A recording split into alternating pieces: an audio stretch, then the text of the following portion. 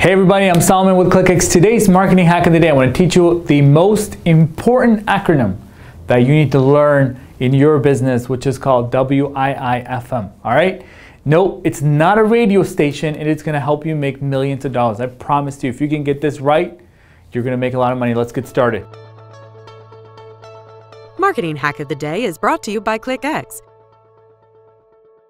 All right, so you might be thinking to yourself, what is this WIIFM thing he's talking about? It is basically the fundamental principle that every marketing campaign, every salesperson should be doing behind, right, in your head as you're proposing to a prospect or if you're writing copy for your marketing campaign, doesn't matter if it's an email marketing or website or even, even a small tweet, all right? It means what's in it for me. All right, that is what your prospect, that is what your audience is asking. What's in it for me? Tell me what is it going to help me do? How is this going to help me accomplish more? How is this going to save me more money? How is this going to help me get to where I'm going for my company, for my, you know, career, whatever your person, whoever you're talking to, they're always thinking from their perspective, right? So a lot of companies, they don't necessarily know how to crush their goals or they don't know how to beat their competition. They get too hung up on conversion rates and maybe they're thinking about why their email marketing is so low, right? They're like, what do we do now? Do we have to scrap all of our campaigns and offers and come up with new one? No, you're probably missing this guy right here. All right? You're missing the, the very element that they use to decide whether or not they want to use your company versus somebody else's the very thing that they want to use to decide whether they want to work with you or they want to work with somebody else. It's all about how you come out, right? It's all about how you come across to your prospects. So I'm going to give you some examples and maybe that can help you kind of revitalize how you should be thinking about your campaigns, your offers, your content, and so forth. And I believe that it's not just the newbie marketer that gets this wrong.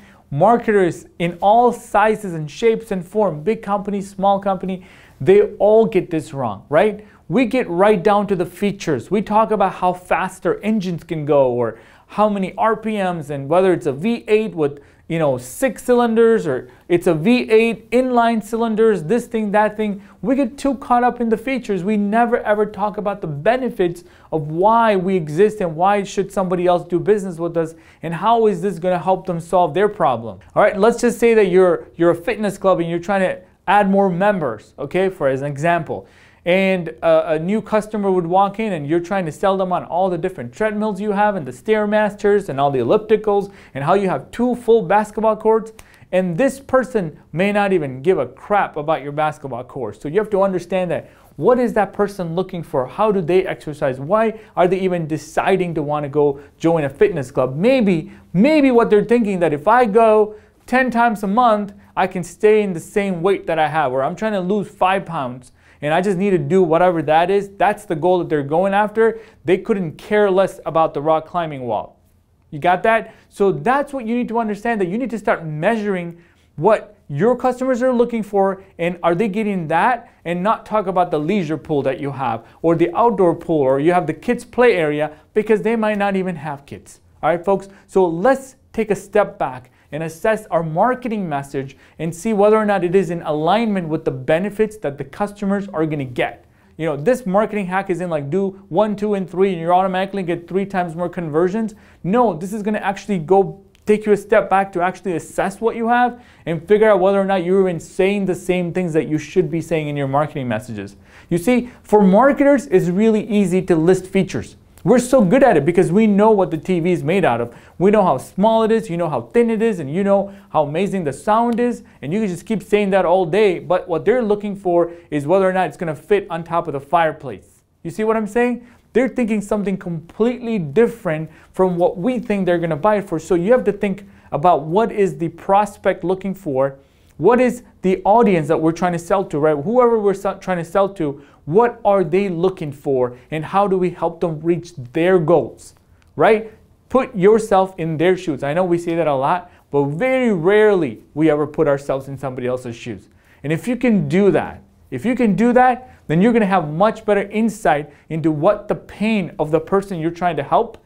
And then you'll be able to help them reach that. And let me tell you, those are the companies that have massive, massive success. They've had success in the past. They'll continue to be successful because they rarely talk about the size of the engine.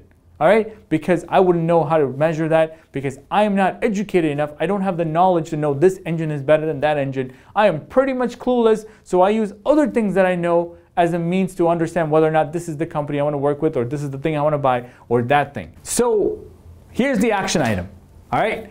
I am imploring you to redefine your offer. Redefine your content, redefine your messaging, redefine everything that you have that you're saying to your customers in your sell sheet, in your webinars, and figure out it's not about you. Take a step back and it's about them, right? How are you going to help them achieve what is it that they're trying to do? And then you step back and see whether or not it worked, whether or not they, they understood you, and whether or not they're going to want to do business with you, whether or not they want to even hear more from you because you can hear when a company is just talking about themselves.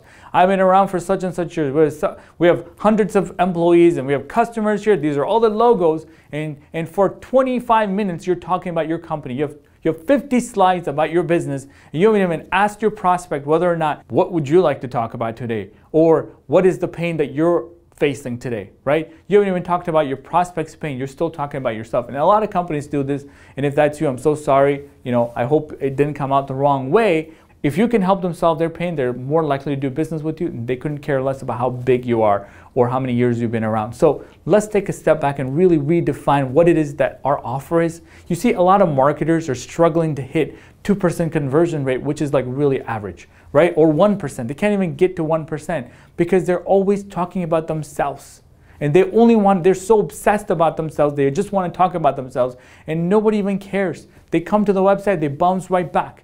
You haven't even explained to them how you're going to solve their pain, right? Most companies, when I go to their website, it's like it's like all about us. Everything is about us. They should just read label all the navigation to about us because everything is about us, our capabilities, our everything, right? Our team, our it's all about us. And there's barely anything for the prospect. Why should they spend any time on your website?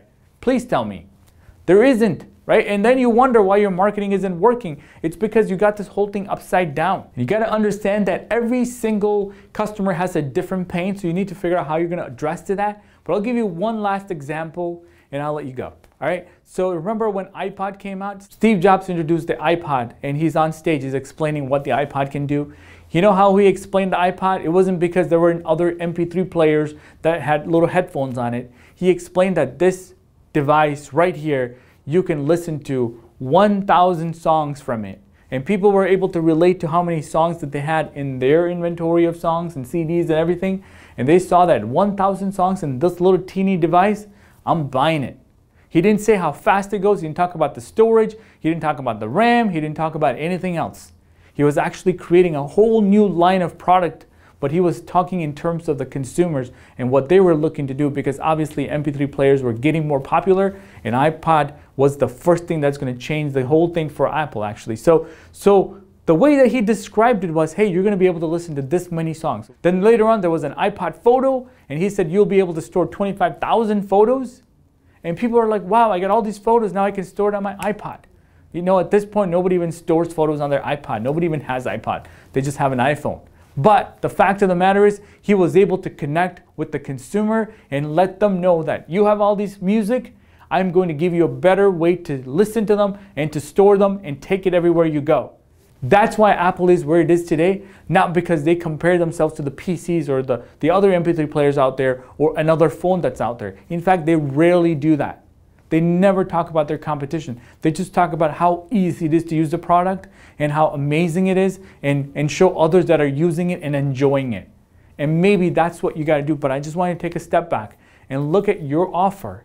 If you're not getting the kind of conversions rate that you want, maybe you're talking too much about yourself and less about the prospects that they don't really care. They'll leave and they probably want to do business with someone else who is willing to listen to them, willing to take care of them. This concept about what's in it for me is never going to change. All right. I hope you got some insights. Thank you for watching another edition of Marketing Hack of the Day. Oh, hi. Subscribe to our channel.